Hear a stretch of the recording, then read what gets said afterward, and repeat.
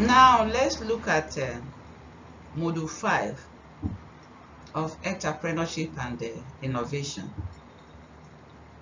Module 5 has to do with management and innovation. The concept and types of innovation is what we are looking at in Unit 1.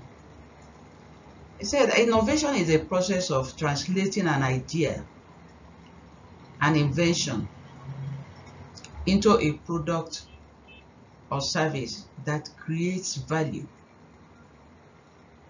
It must be it must have value. Like we discussed earlier the, the it has to be verified. It has to be you know tested and accepted. Because if people need is what people need then it has value. To qualify as innovation it needs to be replicable it means that it can be replicated it can be rep repeated in, in different ways by different people. It has economic cost.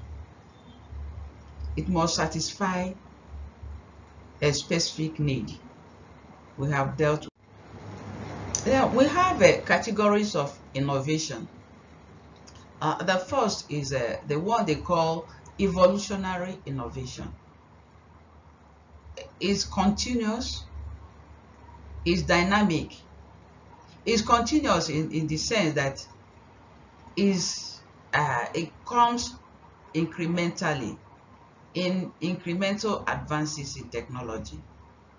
If we if we look at uh, the postal system, for instance, uh, first in my father's days, they used to have use telegraph to send messages to people. They send it, they go to collect it in somebody's place. It can take uh, uh, days to collect, weeks. After that, in our time, we were using the postal system, the post office system.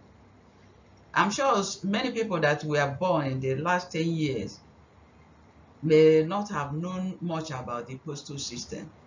You post your letter even within Nigeria, it could take two weeks to get to its destination, the post office. And people were managing with that. And with uh, uh, there were another another change in that process, and it has to do with uh, the courier services. People had to pay more but they were sure the message, the letter, will reach their destination. They are sure that it will get there in the day, the day and the date they stipulated, and is safe. Then we were satisfied with it until email came. You are now delivering your letter, your message, and the person you're sending it to is getting it instantly. Those are the values of technology. That's evolutionary. It came gradually. Then you have a revolutionary innovation. It's called discontinuous innovation because when it comes, like, it puts off the existing one. Uh, we can use uh, uh, uh the, uh, the telephone, for instance is disruptive in the sense that when we had um, the landline, people were using it, whatever the shortcomings, it was being managed. But when the innovation in telephone came, the mobile phone, it, disrupt, it disrupted the, the landline. Not only that uh, it is made available for everybody to own because of the cost. Remember we said that technology drives down cost. It drove down the cost of owning a telephone. Before you will pay as much as uh, 100,000 to uh, have a landline in your house. If you are waiting for somebody's call, you have to wait in the house for the call to come. But uh, when the mobile phone came, first of all, it is portable, it's handy, you can take it anywhere you're going, and the cost is within reach. So much so that even market women, everybody, people in the villages, they have telephone. And nobody is thinking about landline again. This is revolutionary innovation or disruptive innovation because it like knocks off the idea of a finally you can say that innovation is synonymous with risk taking especially when it concerns radical innovation.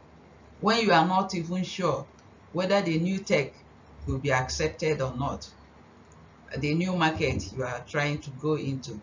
Unlike the uh, gradual innovation the incremental innovation is just minimal. You don't put in the research as much as um, you don't invest too much as much as the radical one. The risk is more in the radical innovation. But the most common innovation is the continuous one. Taking lessons skills and overall technology and applying them to a different market. So as a startup, you need to be well informed and guided through the implementation of uh, the technology. We'll stop here for now.